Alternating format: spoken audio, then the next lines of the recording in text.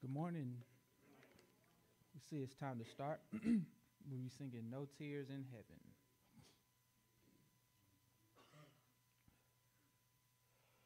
No tears in heaven, no sorrows given, all will be glory in that land. There'll be no sadness, all will be gladness. When we shall join that happy band, and there'll be no tears. There'll be no tears, no tears up there. Sorrow and pain will all have flown, and there'll be no tears. There'll be no tears, no tears up there. No tears in heaven will be known. Glory is waiting, oh, waiting up yonder, oh, where we shall spend an endless day. There with our Savior, oh, we'll be oh, where no more sorrow can dismay, and there'll be no tears. There'll be no tears, no tears up there. Sorrow and pain will all have flown, and there'll be no tears. There'll be no tears, no tears up there. No tears in heaven will be known. Someone in yonder who will cease to ponder all things this life has brought to view. All will be clearer, save one's be dearer. In heaven where all will be made new, and there'll be no tears. There'll be no tears, no tears up there. Sorrow and pain will all have flown, and there'll be no tears. There'll be no tears, no tears up there. No tears in heaven will be known.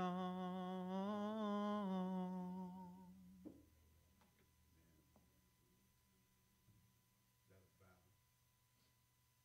Our Heavenly Father, Almighty, we thank thee so much for granting us another opportunity to come together to worship thee, Lord, upon the first day of the week.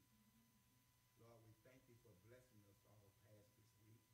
And thank you for giving us traveling grace, Lord. And thank you for giving us good health, Lord, so we can be able to meet together and worship together upon the first day of the week, Lord. And Lord, we thank thee so much for sending our son Jesus down here and died on the cross that we all may have a right to the tree of life. Lord, we thank you so much for blessing us with this building once again. We thank you and we pray that we'll worship thee in this building forever, Lord. And Lord, we pray when this life is over with, Lord, that we will have a home with you somewhere in heaven, Lord. We ask these blessings in the name of the Father and the Son and the Holy Spirit. Amen.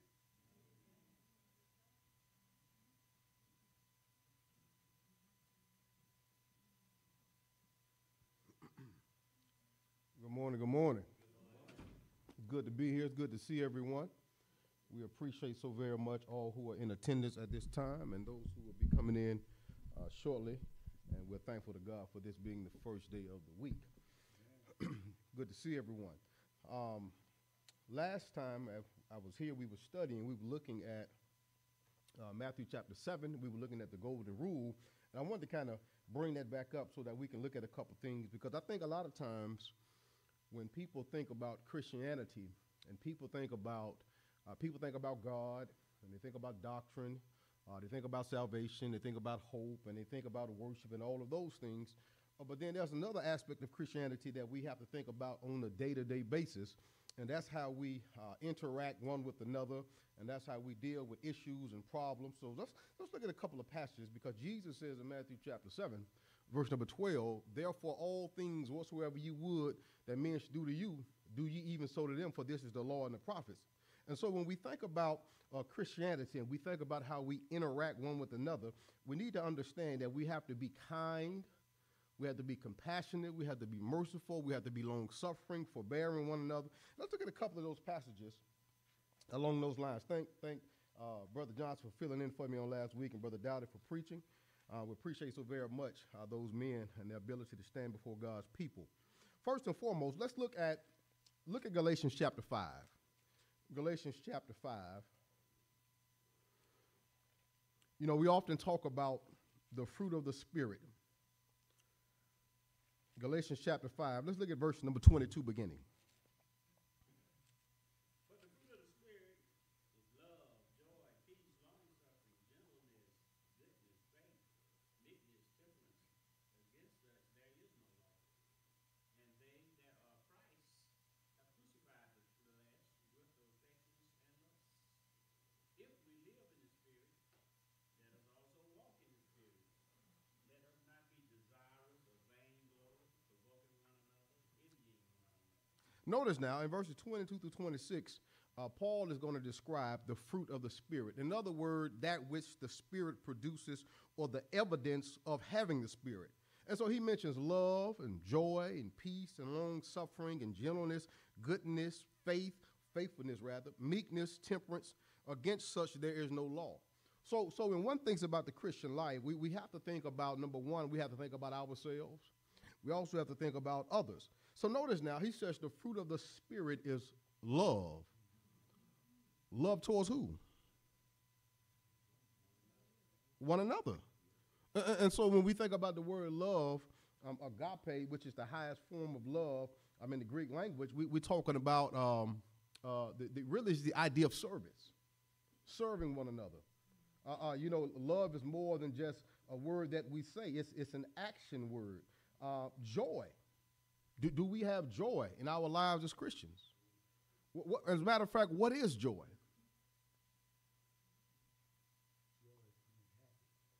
Um, it, it, it includes happiness, but it's, it's, a, it's a little bit more involved in that. Joy is a calm disposition. It's a it's an inner calm disposition um, that, regardless of the circumstances, you still have faith and trust and dependency um, in God. So so now, do we do we do we always feel happy? And so sometimes, sometimes we're sad, sometimes we're upset, sometimes we're mad, sometimes we're angered, but we can still have joy. And, and so when we think about joy, joy is, is, is more complex than happiness because sometimes happiness is fleeting. Happiness comes and goes, it, it, it goes in waves. If you don't believe me, all you gotta do is watch sports. If you watch sports, you realize when your team is winning,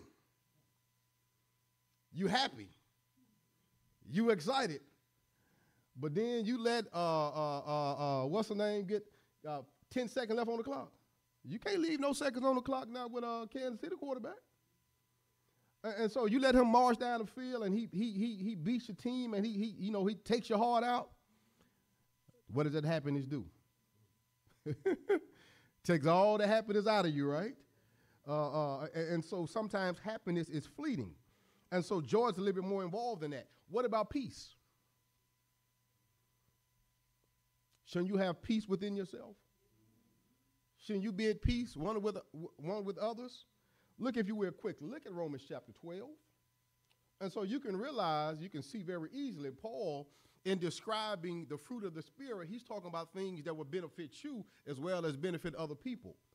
Romans chapter 12, start at verse number 17.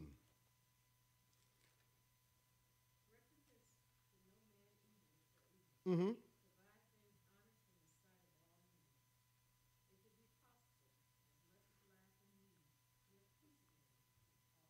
He says, live peaceably with all men. Now, here's the thing you can't be at peace with other people if you're not at peace within yourself. And you know, one thing I find out about, about people and, and, and, and, family members and friends, you know, some people love to kick up dust.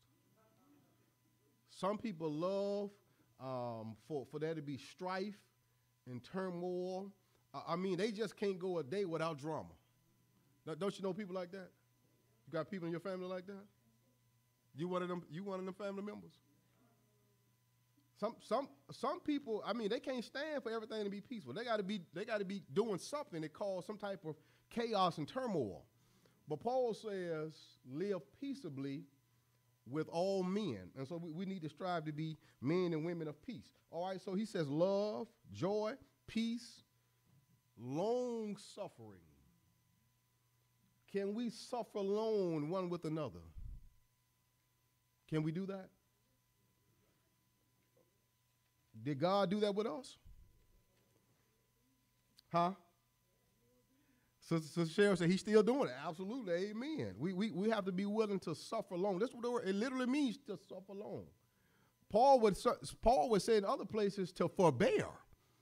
It's the same idea. In other words, um, we, we got to give people time and, and, and, and space to grow and, and, and to mature and to develop. Um, you know what? People don't come out their water, you know, ready to be fully equipped to be a child of God. People make mistakes, people fall down, they have their shortcomings, they have their failures. So Paul says, be long suffering. And anybody who's a parent understands that principle very well.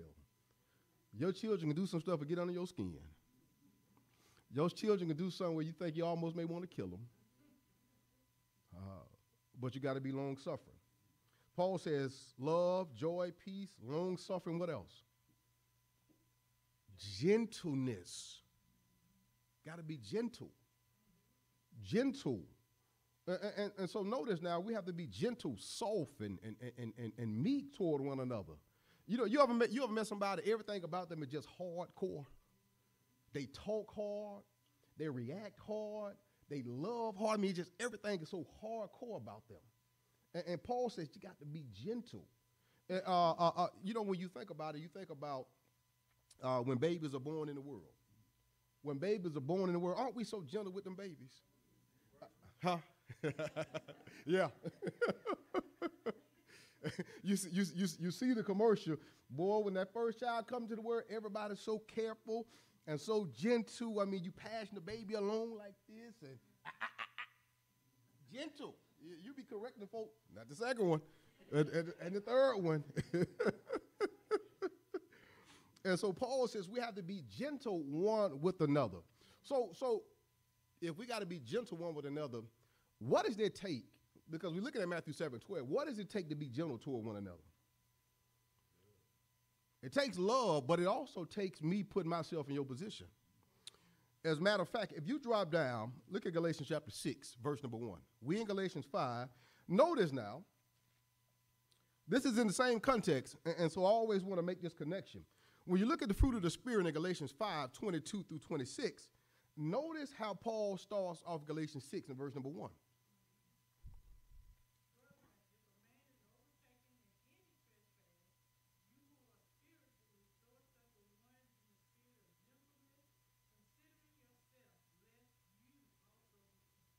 in Galatians 5, he's talking about the fruit of the Spirit, right?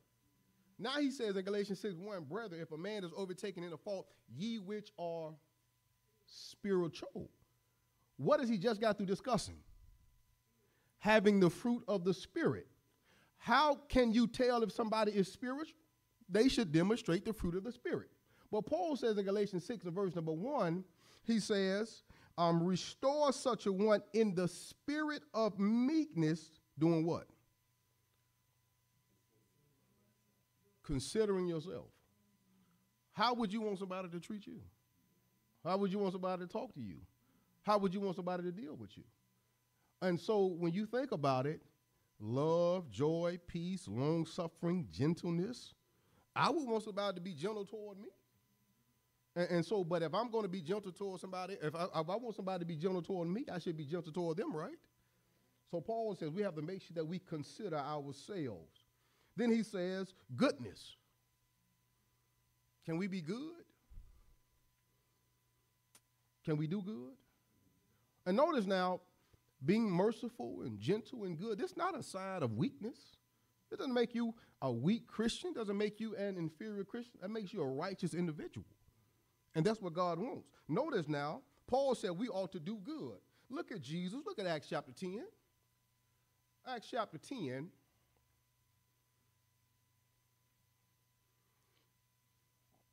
Acts chapter 10. Notice verse number 38. Acts 10 38.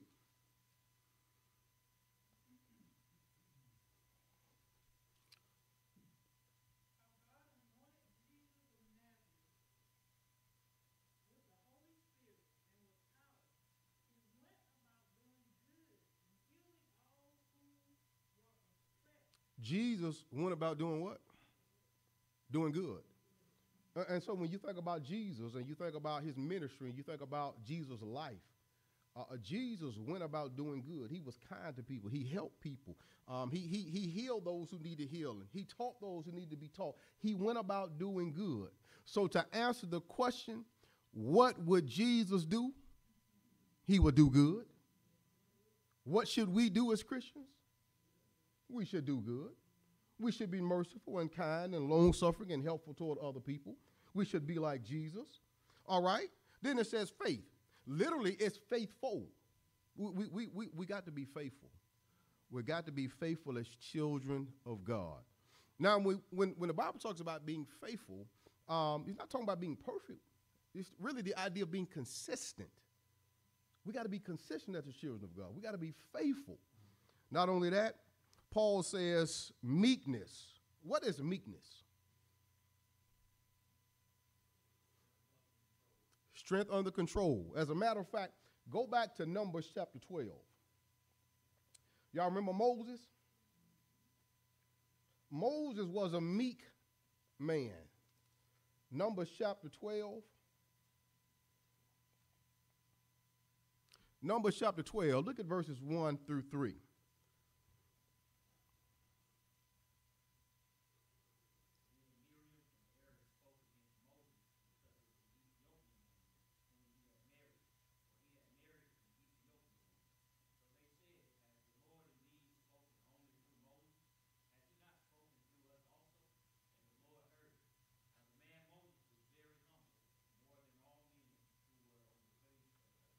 Moses was very meek above all men upon the face of the earth. Moses was meek.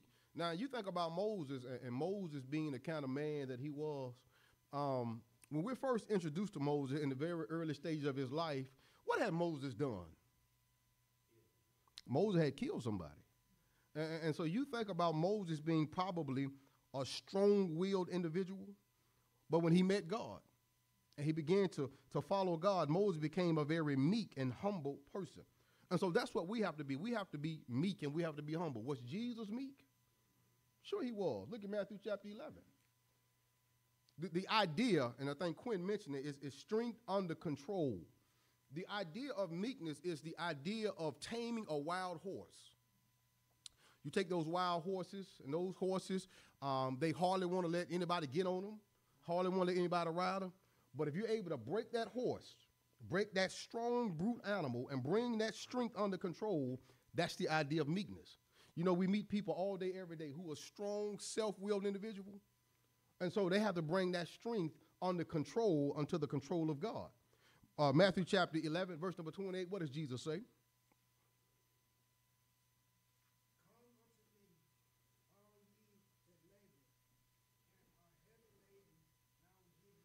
Mm-hmm.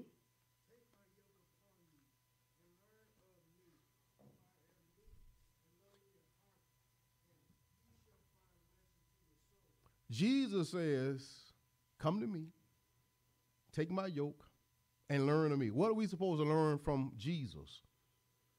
To be meek and to be lowly. Jesus was a meek individual. Now, you think about that, Jesus was God manifest in the flesh. Jesus was able to, to, to, to bring in subjection, bring in control his power and, and his ability to do whatever he wanted to do, but he was able to bring in subjection in order to do the will of God. And so that's what the idea of meekness is, being able to bring that strength under control. You got any children that are, that are strong willed? And you can just about tell, you know what, that child right there, him or her, if I don't break them early, they're going to give me some problems. And, and so we got to bring that strength under control. Sister Katrina. Well, the idea is, is slightly different. Matthew chapter 11, Jesus says, I am meek and lowly. The idea of, of, of lowly or humble um, is the idea of, of bringing, um, uh, being made low. In other words, it's the, it's the, the antithesis or the opposite of, of arrogance. And, and so a lot of times, um, what we have to do, life will humble us, but we have to humble ourselves. So the idea of meekness is bringing strength under control, but in another sense, we can't be arrogant either.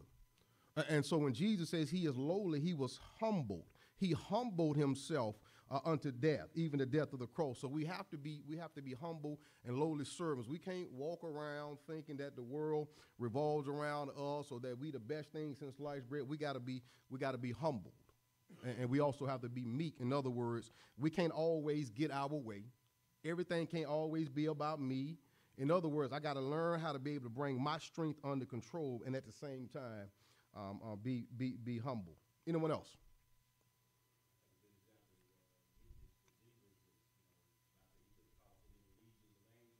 Absolutely. Absolutely, absolutely.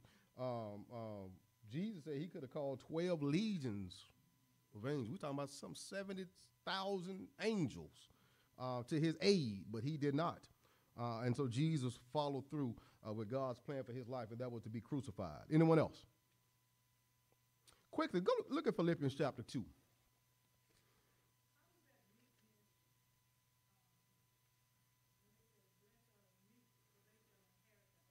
Mm-hmm.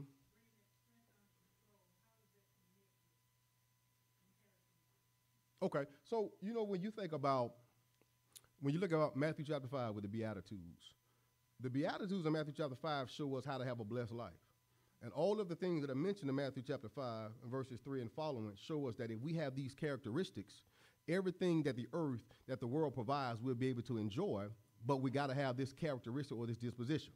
But notice now, in Philippians chapter 2, I want you to notice something. Look at Jesus. Look at Philippians chapter 2. We looked at this a couple weeks ago. Philippians chapter 2, uh, verse number 5.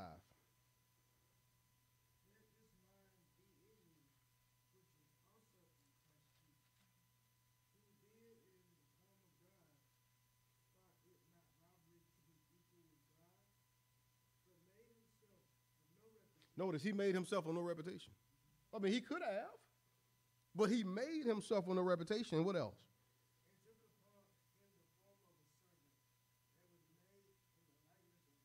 Jesus took the, the, the, the, lowliest position on earth, the form of a servant, the form of a slave. And what else?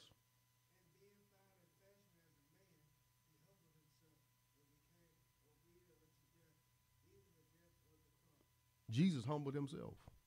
He made himself lowly. And so he humbled himself and became obedient unto death, even the death uh, of the cross. So when we think about being lowly and we think about being humble, we, we have a, a great example of Jesus and Jesus humbling himself and being obedient to God's will. John 8 29 says, Jesus says, I do always those things that please the Father. So when we think about doing God's will, everything that we're mentioning in Galatians chapter 5 uh, will, will become easier if we strive to be like Christ.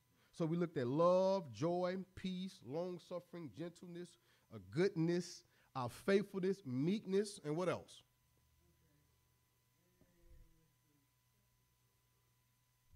Temperance, self control. That's what the idea, that's what temperance is, is self control, self discipline, self mastery. If you will, quickly, look at Acts chapter 24.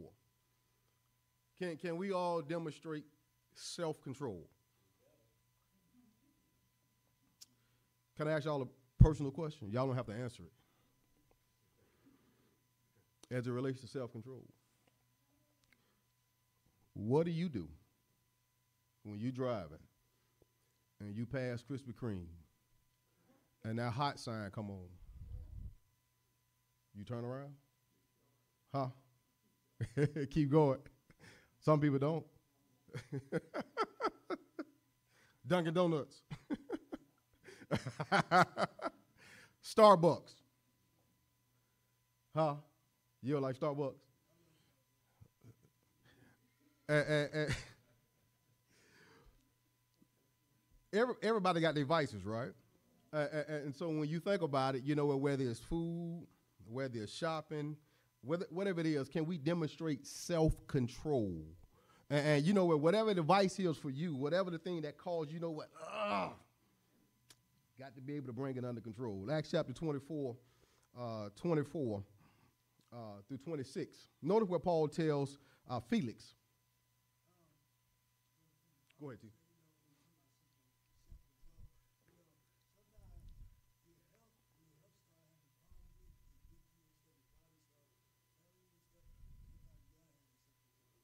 Absolutely. Right. And, and, and it's hard even then, even when, when you're on the doctor's order and your health is starting to deteriorate, to have self control, um, uh, even to the degree, man, you realize how hard it is to, to, to, to abstain uh, from, from food that is not healthy for you. And it's crazy how, how that works. You know what? You can say, you know what, I'm, I'm, I'm to go on a diet. I'm to start, fa- I'm to eat less somebody will call you and say, you know what? Um, I cooked something today. Uh, you want to come by and get a plate? And you already know what time it is. And, and so it becomes it becomes so much more difficult when you're trying to do that which is right, even when your health is, is failing you. Acts chapter 24, and some people find it hard even then. Acts 24, 24, what, is Fel- what does Paul say to Felix?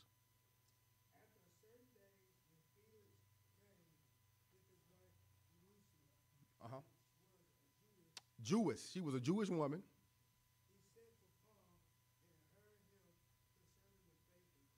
Mm-hmm. Notice Paul's sermon. He reasoned of what? Righteousness, temperance, judgment. Tremble, Felix tremble at Paul's preaching. One of the things Paul mentioned as he was preaching to Felix was, Felix, you got to be able to demonstrate self-control. You got to be able to demonstrate self mastery, self discipline. And you think about how many people uh, uh, don't have any self control, not just eating, but in any part of their lives. They will give themselves over to any and everything. Paul said we got to be able to, uh, to demonstrate and exhibit self control. Any questions or comments?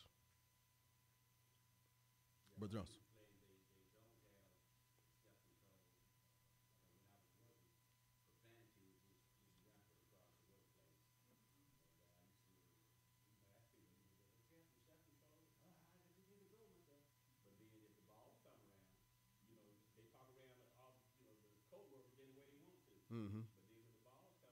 Absolutely. Mm-hmm. Absolutely, absolutely. Yeah, absolutely. People, it, it's, it's selective. That's what you find out. It's selective. Self-control is selective, uh, depending on whose company people are in. And that's it's the same way you see people um, that claim they don't know how to dress. Let them go stand before the judge. They, they know how to dress then. They're gonna go put on the best. Why? Because they want to impress the judge. And, so we have to demonstrate self-control in every facet of our lives. And the same way with children. Children go to school and you know they acting up in class and they misbehaving. They do that in front of the teacher. They don't do that in front of the principal. They know how to demonstrate self-control. Hmm. Yeah, yeah. But people are selective in, in their ability to demonstrate self-control, whatever facet. So Paul says all of these things represent the fruit of the spirit. And so we're talking about having these inner quake, these inner traits and these inner qualities. But then go to uh, Colossians. Look at Colossians. Colossians chapter 3.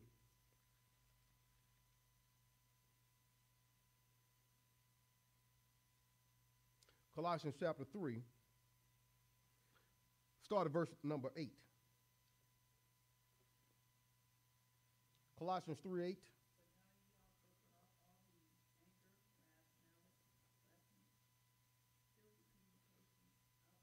Notice now, Paul is reminding Christians to remove these things from their character anger. So you think about that. Uh, as, as Brother Johnson mentioned, you know, what some people are selective uh, their self control. You know, what some people are selective in their anger. He says you got to put that off from you. You can't walk around and be angry at everybody all of the time. He says you got to put off anger and what else? Wrath. You, you, you- you know people like that, man, it seems like they can kill everybody they come in contact with. And we say sometimes, boy, if looks could kill.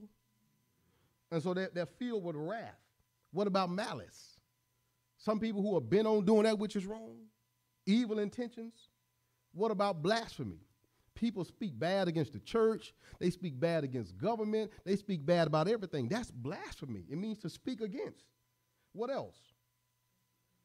Filthy communication.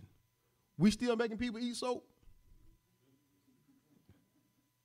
Boy, well, you know when I was growing, up, you couldn't even you couldn't even call about a liar. That was a bad word.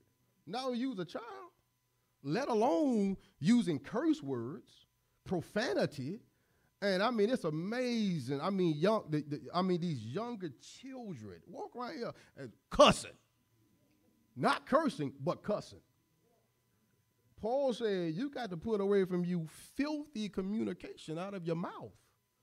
And, and- and so we need to understand, we, you know what, words have power. Then he says, what else? Verse number nine. He says, now you got to put off all these other things, but you can't walk around here lying one to another. I said, I said, I seen so somebody said, man, you know what? So, so, a lot of people got that, that disease called diabetes. They just lie about everything. You know people like that. Some people can't. Some people can't tell the truth to say they so. They will lie about everything. One man has said, "You know what, man? I, I can't even trust when you say good morning, because you might be lying." And so Paul says, "Remove lying." And then what else?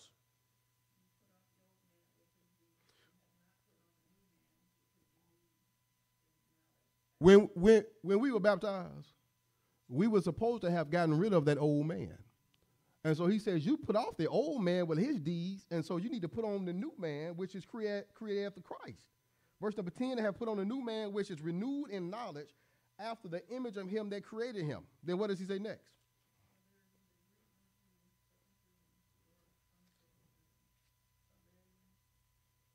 Scythian. Now notice he just said, put off these things, and then put on what? Verse number 12.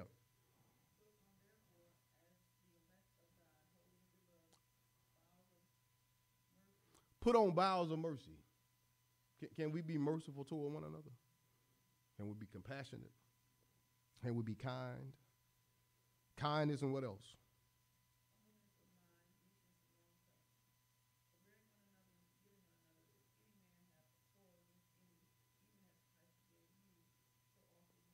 Verse 13, he says, forbearing one another. That's an extended version of long suffering.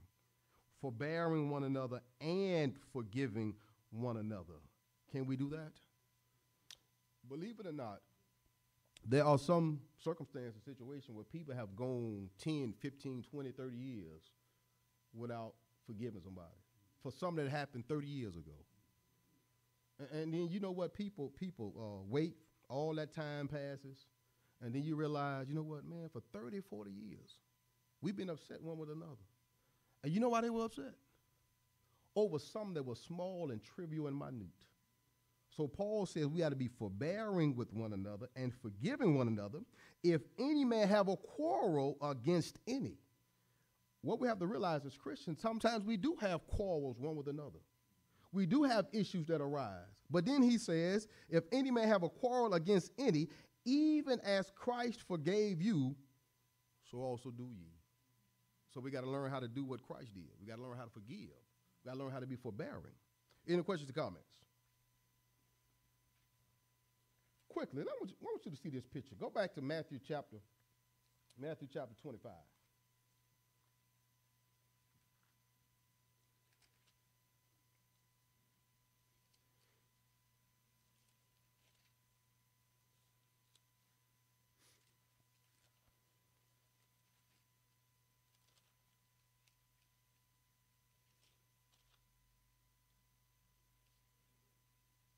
No, that, that's not what I, I don't want Matthew 25. I want the parable, Matthew uh, chapter 18. Matthew 18, as it relates to forgiveness.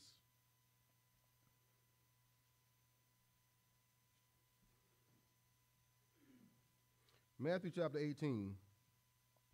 Let's start at verse number 23.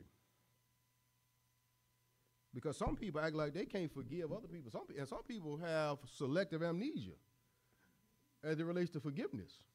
You always want God to forgive you, but can you forgive others? Matthew chapter 18, verse number 23. Uh, start there, someone.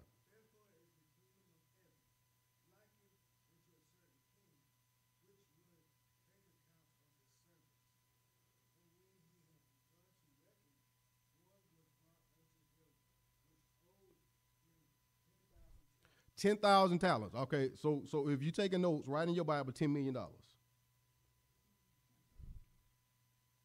That's the equivalent of ten thousand talents. Ten million dollars. All right.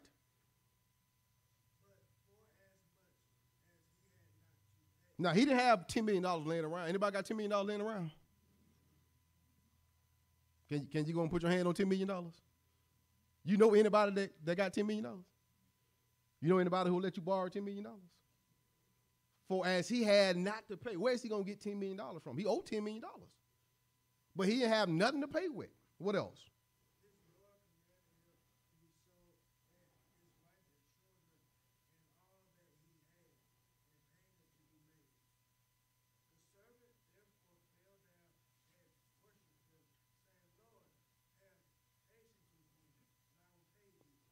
How you gonna do that? How you gonna pay ten million dollars? You have nothing to pay pay with, and he says, "Be patient with me, be long suffering, give me some time, and I'll pay thee all." And so you understand by his request, he just wants somebody to be patient with him. There's no way in his lifetime that he can pay off a ten million dollar uh, debt, not making a penny a day. Notice what else it says.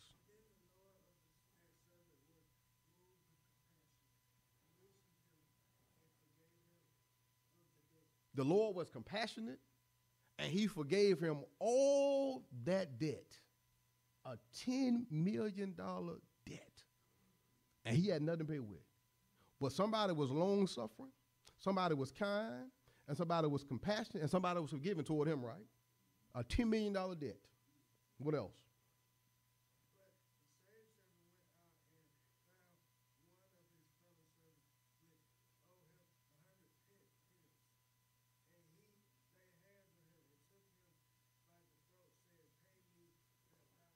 Now you remember one of the things we learned earlier in the class this morning. We talked about considering thyself.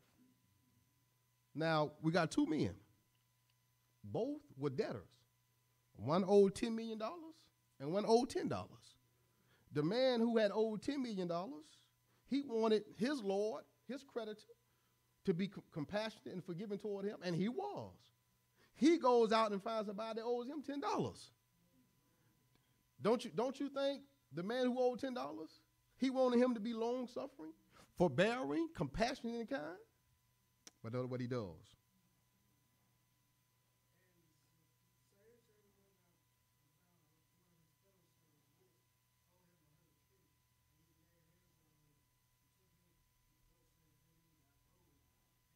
Took him by the throat.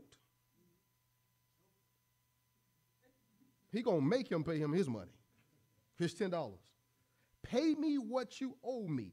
Even if the man gave him $10, what is him giving him $10 going to do to his $10 million debt? Not even going to put a dent in it. But notice what happens.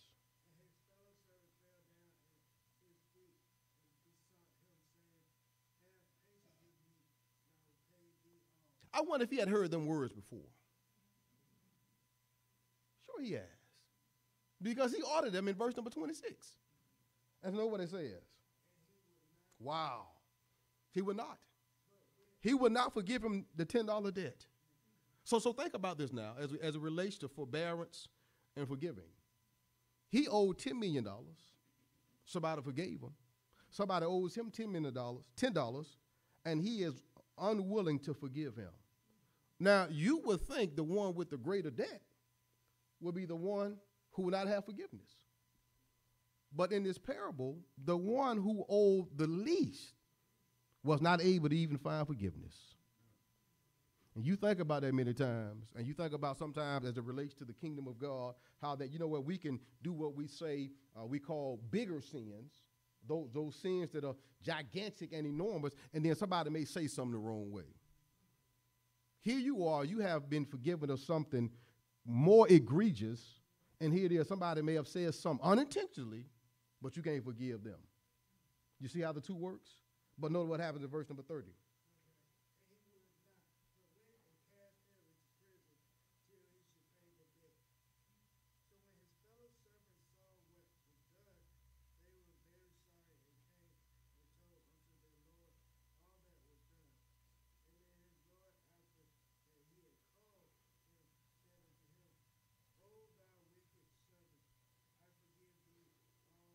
I forgave you $10 million. Why? Because you asked me. Thou desirest. Verse 33 says what?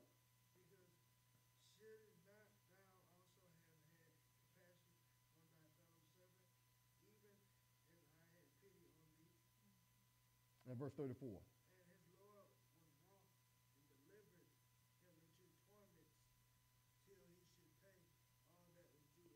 You know why?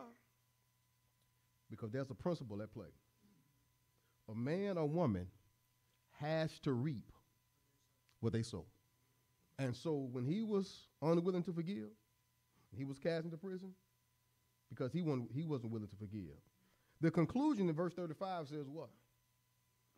So likewise shall my heavenly Father do also unto you. If ye from your hearts forgive not everyone his brother their trespasses, wouldn't it be a terrible and awful thing for you to get to the judgment seat of Christ and find out that you're not going to go to heaven? Because you didn't forgive on earth.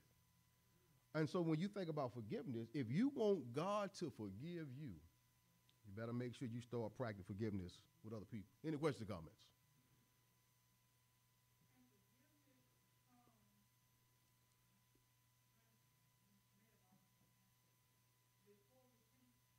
No, no. As a matter of fact, uh, let's back up in Matthew chapter 18. Matthew chapter 18. Now, I'll tell you what, go to Luke 17. Luke 17 explains it a, li- a little bit better. Luke 17. Luke 17. Start at verse number 1.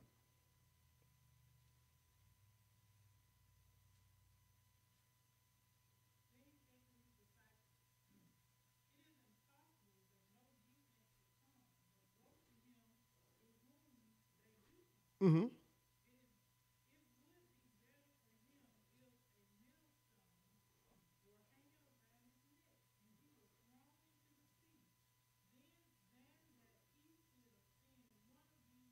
Mm-hmm. Now, notice what Jesus says in the next verses now. We, we keep, that phrase keeps coming up. Consider yourself. Take heed to yourself. Notice now, take heed to yourself. what?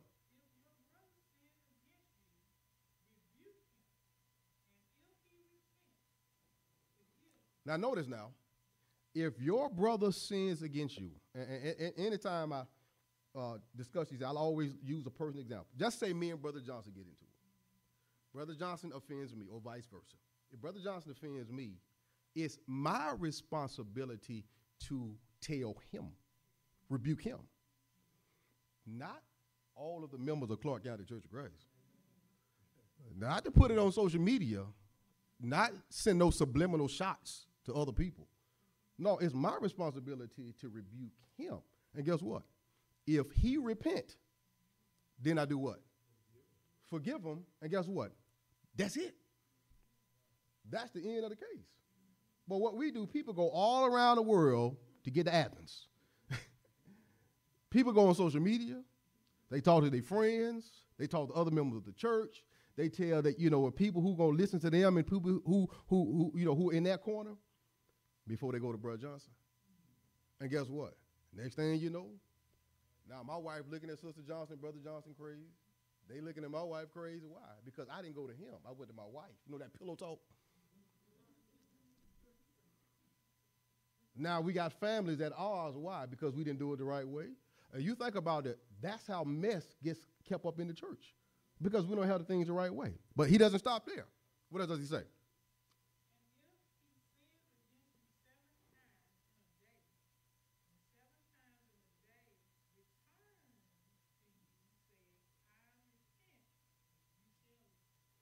Now I know somebody be saying, "Well, now, now, what is Brother Johnson doing?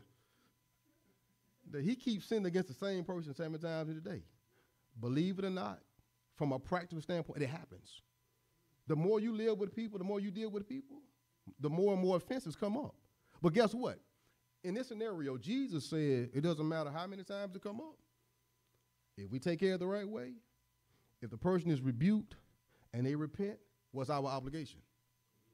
To forgiveness. So you realize in verse 3 and verse number 4 that repentance precedes forgiveness. A person got to repent. Then what else?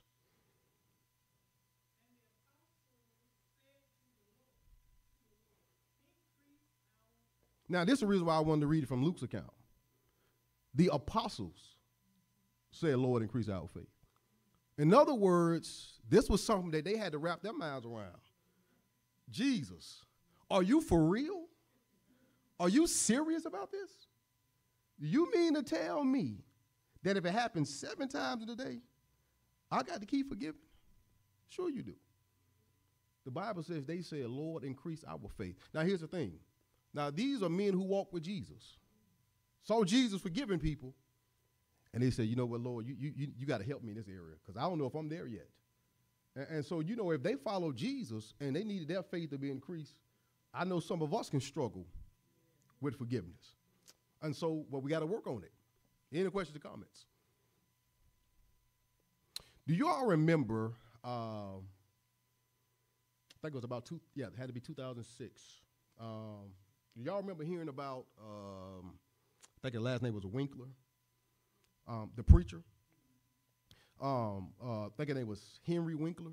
He's uh, grandson of Wendell Winkler. Um, his wife killed him. This is in the Church of Christ. It's 2006. You can look this up. And I remember um, his his father, Dan Winkler.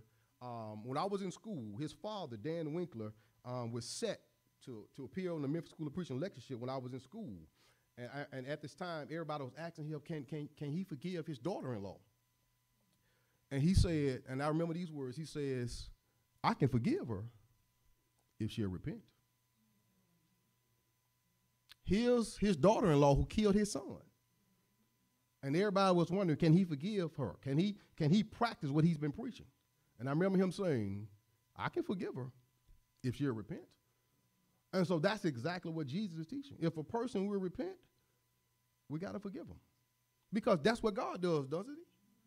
When we come to God out of the world and we come out of denominationalism, we come out of all these different things, God is willing to forgive us when we repent.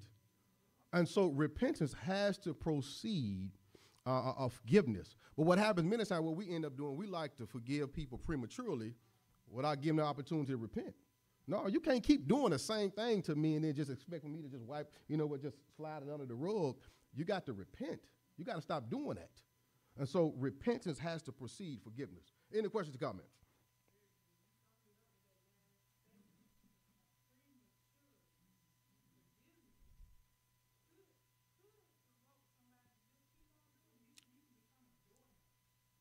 Mm-hmm.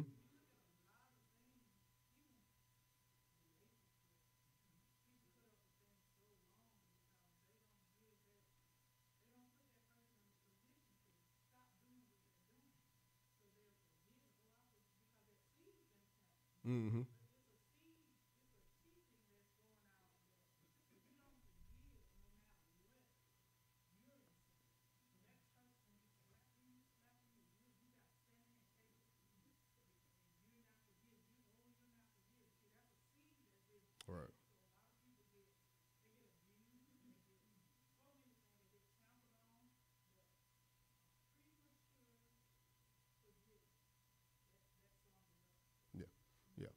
Brother Mitchell.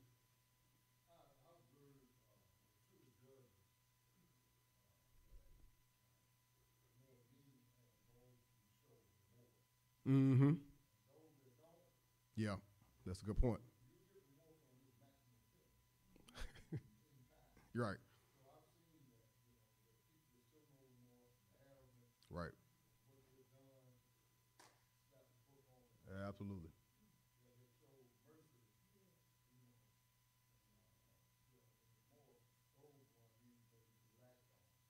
Absolutely, and then, and, and even uh, with those examples, you even see some sometimes the family will, will will appeal to the judge on behalf of the offender if if if that person has has showed some type of remorse. Uh, that that situation where the family say, you know what, don't don't give them the death penalty, don't give them life, especially if it's a young a young child, maybe 17 or 18, who committed a crime. Sometimes the family would be a little bit more lenient. Why? When they realize that the person genuinely did not intend to do this. So we, we, we got to be willing to show remorse, uh, and show some type of godly sorrow. Um, to the to the example that Sister uh, uh, Glaze you can't just keep slapping me and just telling me to take it, slapping me, slapping me. Oh, I'm sorry, I'm sorry. How will I know if you're sorry if you keep doing it? No, repentance, you got to change the behavior. Somebody has once said that the best, um, the best example of a changed life is changed behavior. When you know somebody is changed, you'll see it in their behavior. Any other questions or comments?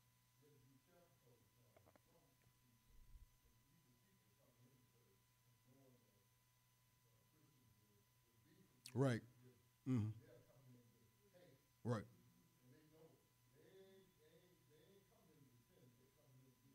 Mm-hmm. Absolutely.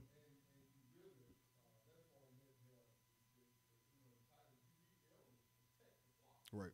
Yep. Oh, absolutely, absolutely. Absolutely.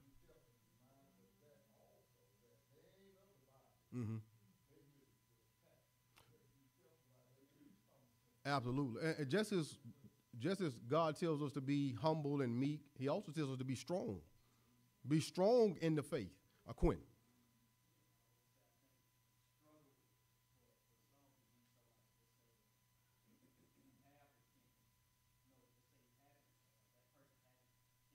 Mhm.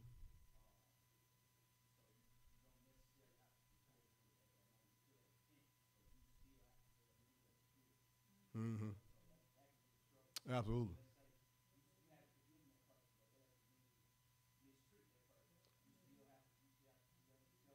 Right. Right. Absolutely, absolutely. And, and ultimately, um, when we think about forbearance, uh, uh, sometimes we have to be forbearing, uh, you know, and be long suffering people until they repent. Uh, but at the same time, I'm just not going to let you just keep uh, sitting there punching me and slapping me and kicking me and just and, you thinking that I got to take it because I'm a Christian. I do not. Um, um, you know, we, we have to be long suffering, but at the same time, we got to be like Brother Mitchell, got to use wisdom and use prudence um, and discernment. All right, I think our time is up. We'll pick this back up next week, Lord willing. Uh, Christians are not weak people.